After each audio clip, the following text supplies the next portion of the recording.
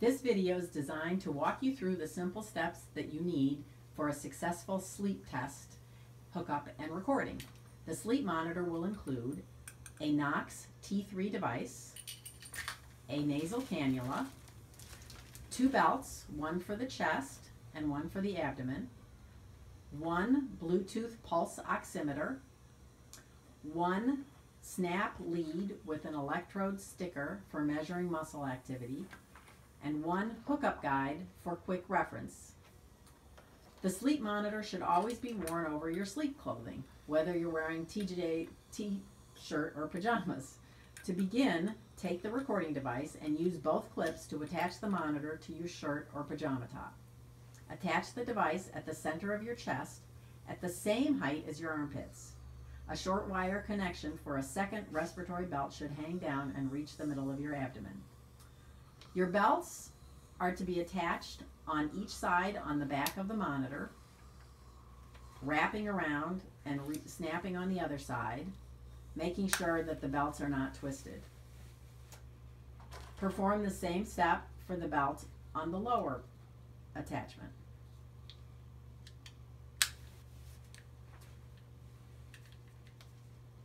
Excess wire can be tucked into the belts. Next, take out the long clear tubing called the cannula and hold the cannula with prongs curved towards the back of your head. Place a prong in each nostril and wrap the tubing behind and over each ear. Slide the fastener under your chin to hold the cannula tight but comfortable. This will help keep the cannula in place while you sleep. Insert the other end of the cannula in the silver input connector located on the side of the monitor and push firmly. Now remove the clear plastic backing on the electrode and apply the sticky side to one of your cheeks. Place it over the muscle you feel when you're clenching your teeth. Make sure to direct the red and white wires downward after you have it attached.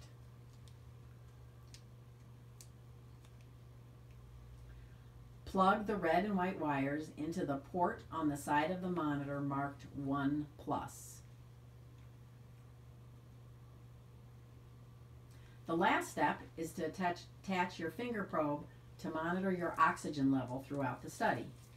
Place the watch-like mechanism on the wrist of your non-dominant hand and secure with Velcro strap, being sure that the device is worn firmly so it does not turn or slip while you sleep, but so it is not as tight as to dig into your skin.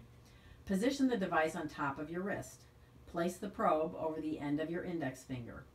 Make sure that the tip of your finger does not protrude through the end of the probe and one of the squares is on top of your finger. A good way to verify the probe is in the proper position is to push down on the square and verify that it's over your fingernail. If your finger doesn't fit, you may use a different finger. Congratulations, you are ready for testing.